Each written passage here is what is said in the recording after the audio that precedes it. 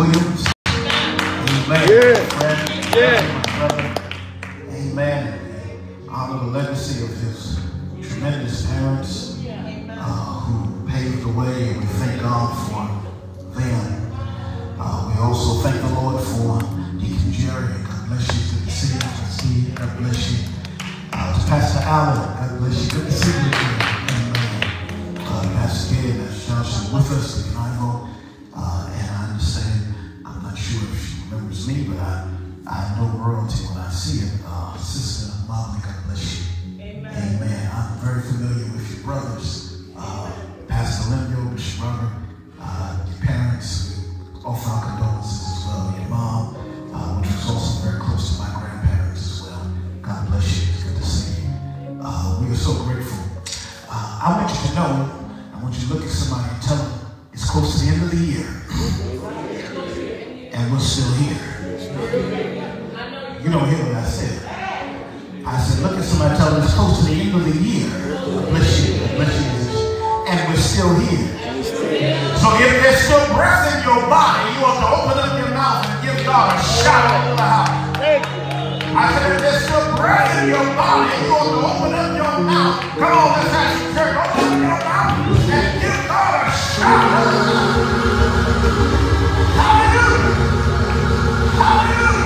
I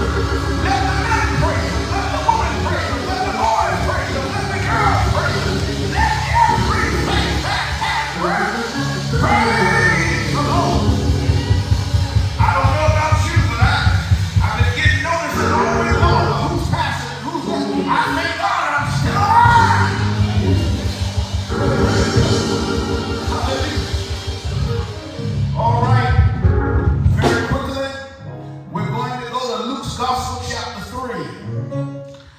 Gospel, chapter 3. We're going to jump in and jump out. Luke's Gospel, chapter 3. And we're going to uh, move very quickly. Hallelujah. I'm excited. I'm excited about being here. And uh, we, we believe that God is going to do something. And I uh, believe that it won't take long for Him to do it. Matter of fact, let's go to chapter 1 of Luke's Gospel. And we will go down to verse 26. I believe Pastor said my assignment is to uh, share something in the theme of Christmas. It's Luke's Gospel, chapter 1, and we will go down to verse 26. Won't be before you long, uh, but I believe that God's given us a word to encourage you. I was here last month, and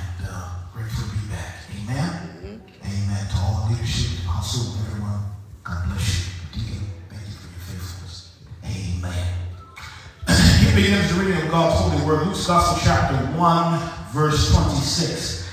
Now, in the sixth month, the angel Gabriel was sent by God to a city of Galilee named Nazareth. To a virgin betrothed to a man whose name was Joseph of the house of David. Virgin's name was Mary, and having come in, the angel said to her, Rejoice. Someone say, Rejoice. Say it again, Rejoice. Rejoice, highly favored. The Lord is with you. The Lord is with you. Blessed are you among women. But when she saw him, she was troubled at his saying, Consider what manner of greeting this was. Then the angel said to her, Do not be afraid, Mary, for you have found favor with God. And behold, you will conceive in your womb and bring forth a son, and shall call his name Jesus. He will be great and will be called the Son of the Highest. And the Lord God will give him the throne of his father David.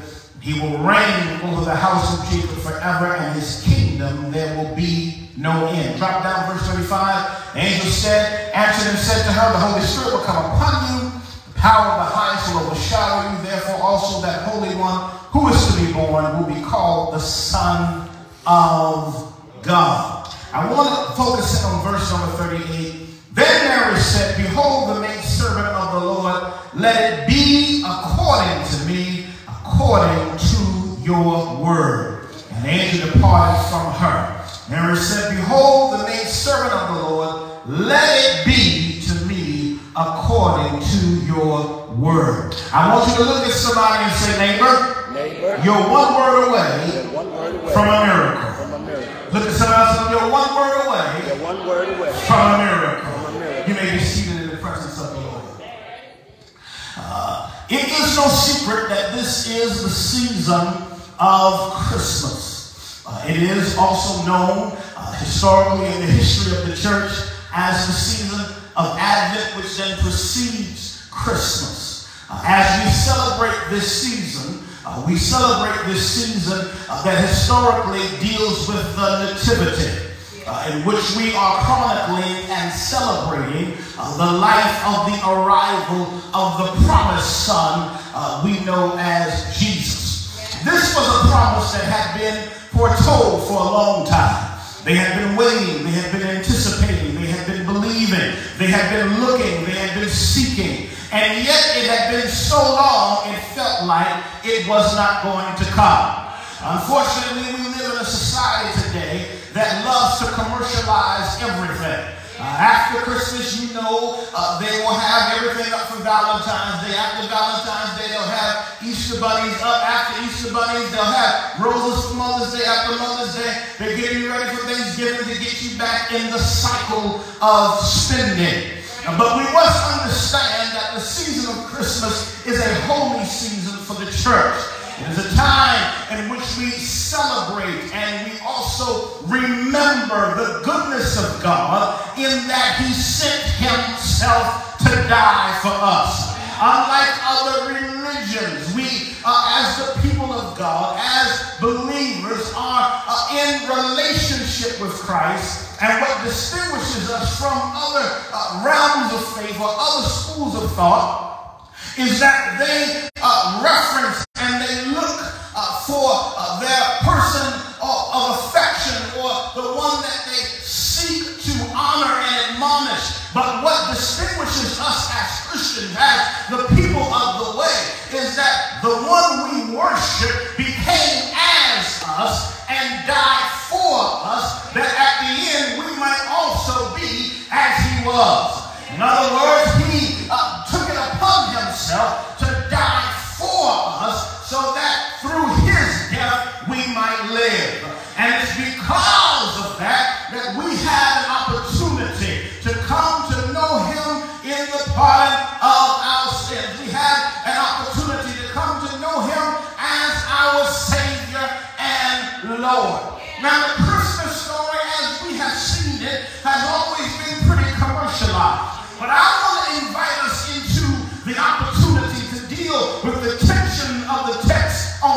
display. The Bible says to us in Luke's Gospel, chapter 3, uh, that there is now a visitation. Everybody say visitation. Visitation. This visitation is unique. This visitation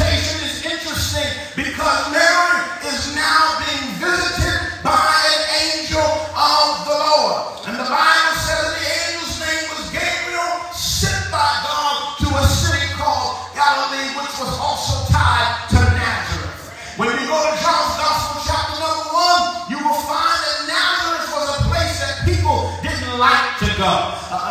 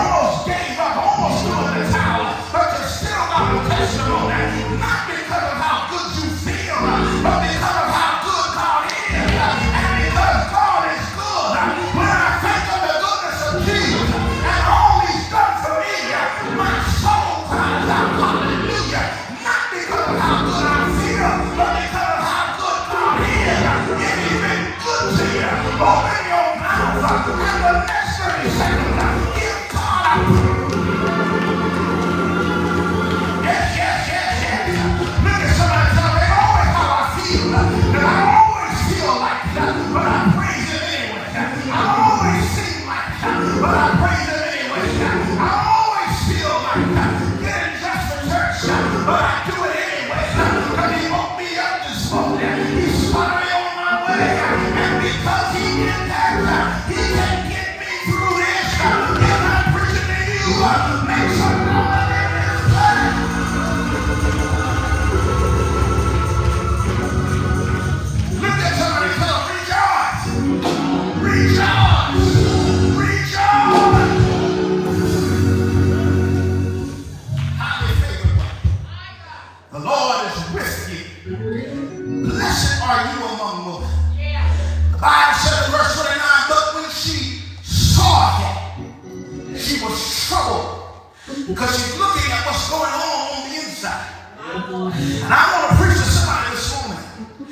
You know you ought to rejoice, but you got so much stuff going on on the inside. Stuff you don't tell anybody about. See, everybody thinks we tell all our business on Facebook, but there's some stuff you keep to yourself, and people have no idea what you're going through. But even in those moments, I came to remind you that